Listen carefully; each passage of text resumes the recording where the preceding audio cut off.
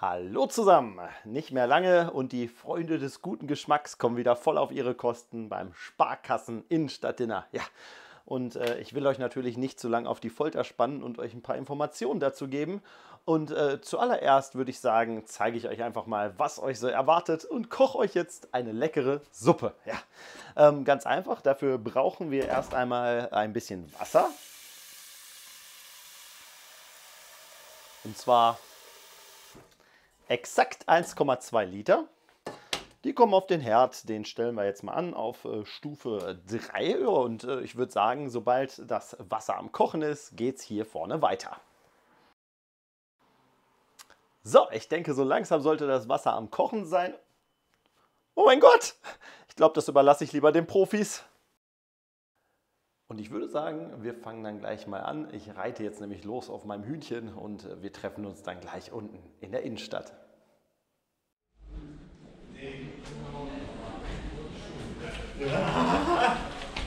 Langsam, Betty, langsam. So, ich bin endlich da. Hier. Moment.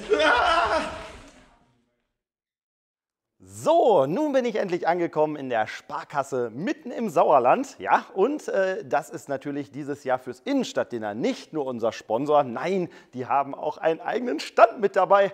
Aber zum Thema Sponsoring habe ich mir auch was überlegt. Denn man kann natürlich immer gut Geld gebrauchen. Deshalb würde ich jetzt einmal bitte mein Team hier zu mir bitten von der Sparkasse.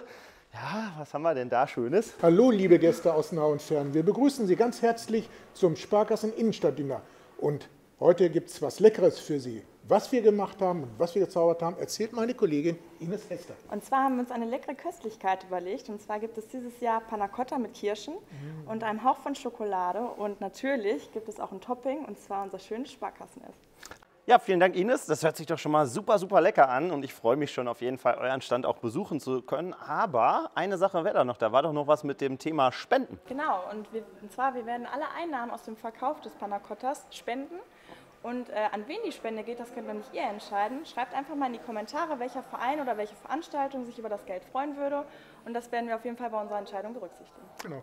Also ihr habt es gehört, alles für einen guten Zweck. Und aus diesem Grund freue ich mich natürlich schon sehr aufs Innenstadtdinner. Und ich würde sagen, wir gehen das jetzt mal probieren. Das hört sich nämlich genau. ziemlich lecker an. Wir sind dabei.